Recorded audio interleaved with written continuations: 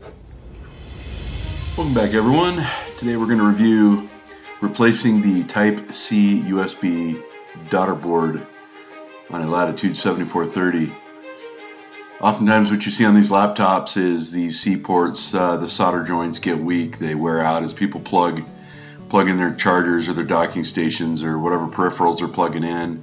Over time those uh, ports get pretty weak, causing them to have to either replace the entire motherboard or in this case, it's just a daughter board that's connected. So um, go ahead and review this. Uh, the, you can see on the top right corner there, daughter board is underneath the fan heatsink assembly. So we will have to uh, remove the fan and heatsink in order to get to that. Start off by disconnecting your battery. Then you're going to remove the four screws for your heatsink.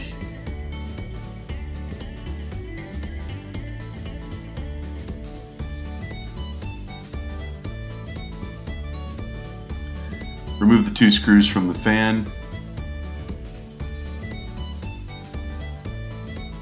Going to disconnect the fan from the motherboard and pry up that heatsink. Some adhesive tape there holding the EDP video cable in place. Just peel that up. And there you can see we've exposed two mount screws that mount the daughter board to the motherboard.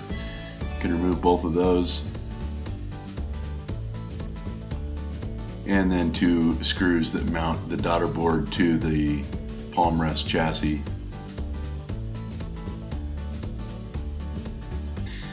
You know, lightly pry up the motherboard and then you can remove the daughter board from underneath the motherboard.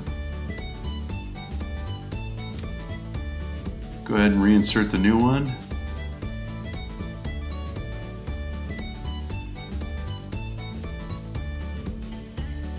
Put your screws back in place.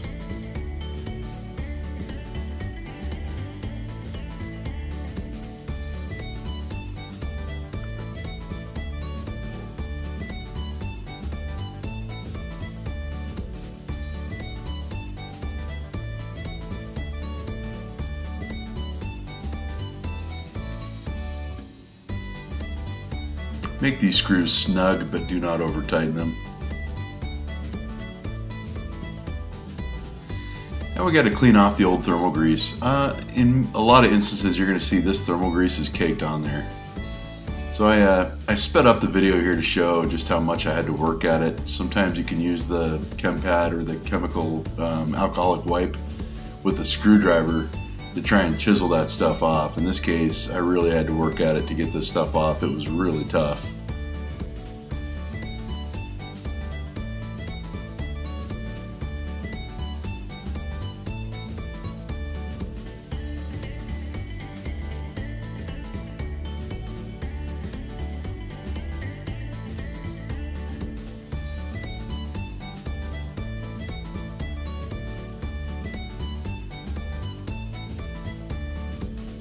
And you're going to use the same alcoholic wipe to clean off your processor.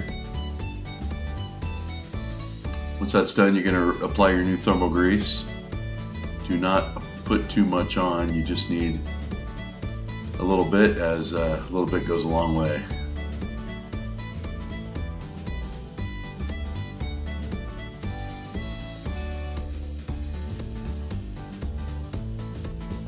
Reinstall your heatsink fan assembly.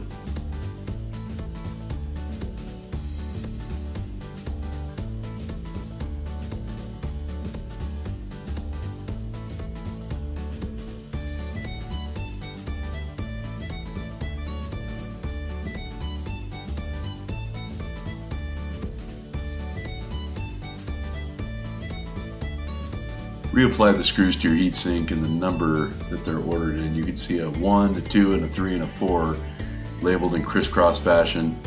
That'll assure that the thermal grease uh, spreads evenly across your processor. Don't forget to reconnect your fan to the motherboard. Apply the cable management from your speaker cable.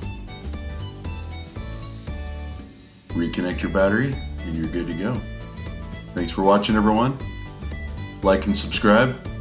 We'll be adding more videos soon. Thank you so much.